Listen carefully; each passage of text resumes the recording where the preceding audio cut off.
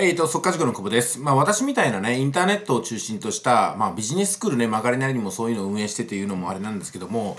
稼がしてあげるからお金をくれみたいなね、そんな塾ってのは私はね、もう大嫌いなんですよ。この塾に入ったら稼ぎのノウハウを教えますとかね、えー、このグループに入ると有料な情報とかがもらえますとか、で、YouTube でいろんな活動しといてですね、えー、こっから先は LINE アットに登録をみたいな感じで LINE アットではね、もうセールスの嵐が来るみたいな、こういうパターンはね、私もうんざりなんですよ。こういうのはね、あの、自分でももちろんやらないですし、もうやってる人との関係もあんまり持ちたくないなと思うんですよ。要するにね、自分が稼げてるんだったら、その稼ぐ方法を別に惜しみなく教えてあげればいいじゃないですか。その結果によって、その情報で稼げる人がね、本当に稼げるんだったら、ほら、ほっといても感謝してありがとうございますってなりますよ。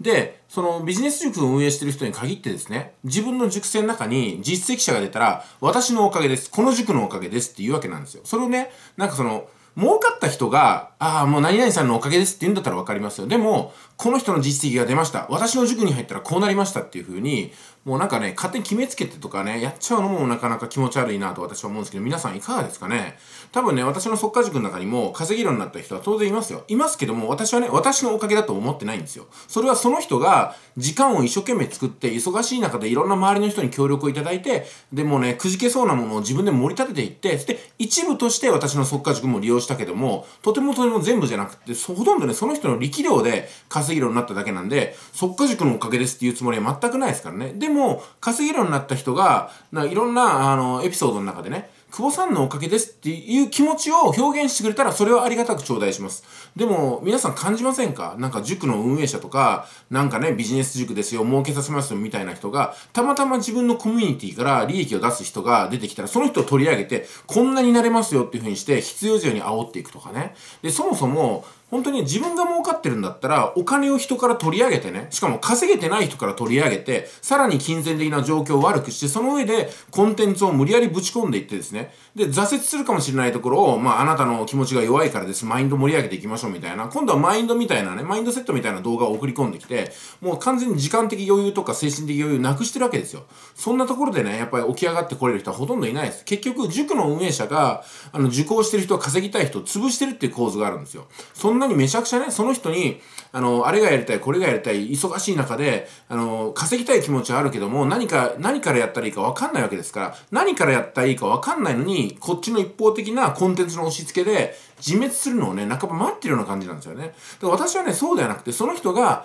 YouTube に興味持ったんだけど、YouTube の効果的な動画のアップロードの仕方を教えてもらえますか？とか、どんなネタが受けるのかちょっと教えてもらえますか？っていうふうに興味を持ち出したら伝えてあげればいいと思うんですけども、なんかね、熟成になったら10羽人からげに、あの、共通のコンテンツをね、ぶち込んでいって、で、たまたまそのね、100人ぐらいいたら1人ぐらいうまくいく人出ますよ。それは塾のおかげじゃなくて、その人の力量でうまくいったわけなんですよ。で、その人の力量でうまくいったのに、私の塾のおかげですとかね、私の教え方が良かったんですって発信者が言うかって感じですよね。しかも、反響、た、もう、何、大変反響いただいてますみたいなメールとかね、動画とかやるんですよ。で、反響っていうかね、アンチの話はずっと閉じてるんですよね。で、ここがね、本当にね、あのー、既得権益って全く変わらないところです。え自分に対してもうね、悪い意見が来たのは全部無視して、いい意見だけを取り上げて、それをデコレーションして、もうボリュームアップして伝えていってですね、もう情報を歪めてるわけですよ、自ら。自分の塾が正しくって他の塾が正しくないみたいなね。こんなことをしたりとか、あっちで詐欺がありました。だから私の詐欺じゃない情報で儲けましょうとかね。これ本当気持ち悪いなと思うんですよね。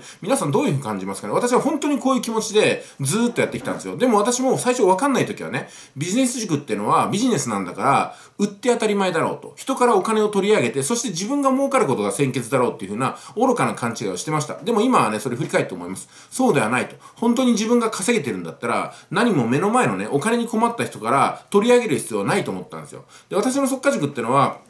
もう2017年、18年から大きく進路変更しましてですね、もう30年ローンですよ、支払いも。しかも、その頭金、まあ私の場合はね、頭金3万円払えば、塾の費用30万円は30年ローンですよっていうふうなくくりをも設けてますけども、そのね、頭金の3万円ですらないんですっていう人には、最初の課題として、交渉するっていうカリキュラムをあなたに与えますんで、ぜひね、私を、あの、3万円じゃきついんでどうにかしてくださいって交渉してくださいってことをね、私からお話しするんですよ。今でもこうやってお話ししますよね。じゃあ3万円がきついから5000円の6回払いいかがでしょうかとかね。1000円の30回払いいかがでしょうか？OK ですよ。あなたが決めたんだったらそれで挑戦してみてくださいと。そしたら速化塾のカリキュラム全部お伝えしますんで、それによって稼げるようになったら毎月の支払い1000円を2000にしたり3000にしたり、それもいいじゃないですか。で、仮に稼げなかったとしたらね、もう支払い止めていいですよと。私の情報のあの価値があなたに対してはなかったわけだから、それはもう無駄なお金支払う必要ないですし、私に支払うもことはないんですよ。ただ私はその人に対して何かね、こいつはね、情報を受け取って金だけ払わないやつだなんてそんなケチなことも思いませんし、この人を稼がせるようなね、力量が私には足りなかったと私が自分で反省するだけなんですよ。もうその関係だけですから、もうね、あの、私はもう自力でお金は、あの、増やします。あの、皆さんからお金いただかずにね。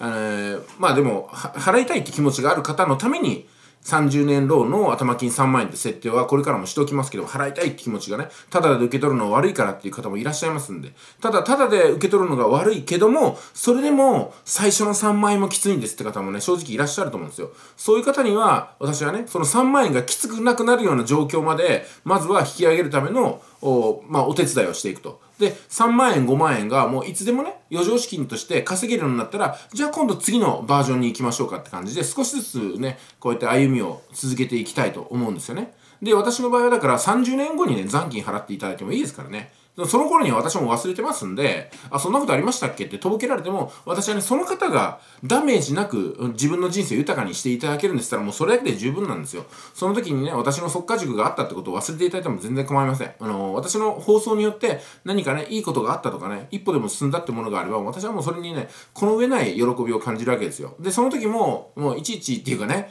あの、わざわざね、私の方に、久保さんのおかげですって連絡別にくださいとも言いません。私は私自身で素敵な人生をね、作ってますんで、もう必ずしも熟成さんが効果があったってことを言ってくれないと、私はね、やる気にならないってこともないです。もうそういう風なね、ケチな根性でやってるわけではないんですよ。私は勝手に YouTube を作って、で、たまたま私の動画に、何かを感じた方が自分のね自発的なエネルギーに変えていただければ私の人生も少しはこの社会に役に立ったんだなと少し思うだけですよね。で私はね本当にね思いますけども自分の人生自力で何回破産しても私は自分で立ち上がっていきますんであなたにお金をくださいっていうふうに積極的に請求するつもりはありません。ただやっぱり感謝をお金にして表すしかないんですって方のために私は銀行口座を開けときますのでそちらの方にはねあのお振り込みいただければまあお金という形ではあるんですけども私はその人の気持ちをその金額の中からね無限に感じることができます。もちろんお金という形だけではなくてもいいです。メールを送っていただいたりとかあ動画を送っていただいたりとかもう何も送らないけども心の中でああよかったって一言ね思っていただくこの地上に生まれてきてよかったなと誰のおかげか分かんないけどなとにかくよかったなみたいなことをねどっかで感じていただければ多分その波動は何かの形で私のところに新しい元気玉となってね捧げてくれると思うんですよ。まあそれが私がねずっと申し上げたかったことかなと思います。えー、本日ね2019年の10月11日私が新しく47歳という旅をスタートする時に46歳までのその人生をね特にビジネスとしての人生を振り返った時に本当にこれはねあのー、私の能力とか私の媒体とかね私の YouTube チャンネルとか私のビジネスとかねこういうものがもしあるんだとしたらこれは人類全体の共有物で私の独占物でも何でもないと私は思ってます、まあ、ですのでこれからも久保さんと YouTube でこれを紹介してくれませんか？って私のことを紹介してくれませんって方、あの、ぜひね、紹介させていただきます。そこでね、広告料を出せとか、あの、私が動くためには私の費用を貸し、あの、出してください。言いません、それは。ここに来てくださいって言ったら私は自費でですね、新幹線とか飛行機で行きますからね、そういうふうに今までもしてきたと思うんですよ。誰に対してもそういうふうな私の出張費を要求することもありません。えー、もうその方に、あの、会っていただきたいと、私の方からお願いしたいぐらいですよね。まあそういうことも込みで、これからもね、あの、速化塾っていうのは、地上類を見ないぐらいの提供提供提供マインドを目指していこうかと思います。もうねくれないとあげないみたいなギブアンドテイクの世界は私はもうね完全にもうコリゴリっていうかそんなところにとどまるつもりはないんですよ。もちろんそういうことをやってる方を批判してるものではないですよ。私はやらないということでございます。それはね私をね綺麗に見せようとかいいように見せようと思うわけではなくて心の底からそう思ってるんですよ。で最後になりますけども最近ね N 国党っていうのが出てきましたね立花隆さんを中心とした N 国党なんですけどももうどちらかというとあの人たちの精神に私は近いと思いますもうねあのインターネットビジネスの業界にも既得権益っていうのはあるわけですよ誰かに睨まれたりやりにくいとかねえー、例えばね、あの、自由にやってるはずの YouTube でも、なんか気の合う人が出てきたら、お前は誰の派閥なんだみたいなね、問いかけをしてくる人って出てくるんですよ。本当に嫌ですよね、これってのは。あいつの YouTube ってなんか気持ち悪いよね。久保の YouTube なんか勝手なこと言ってるから嫌だよねって言ったから、いやいや、そんなことないですよ。私は久保さんの YouTube 好きですよ。って言ったら、え？お前そんな感覚持ってんの？なんか気持ち悪いな、なんかあっち行けよみたいな感じになるとかね。誰の派閥なのかとか、誰の系列なのかっていう風な色付けをしたがる人っていうのは特に危険です。みんな誰にも属してない自分というね、あのこう資源を持った自由人なんですよ。だからわざわざ自分はどこに属している、どこの所属である、誰の所有物である、誰かを所有している、誰かを所有して支配するみたいな、そんなことはないです。あの、私は速化塾っていうものを運営してますけども、あの、速化塾塾生さんに課する義務っていうのは何もないんですよ。本当にね、人は生きてるだけで価値があります。いや、もっと言ったらね、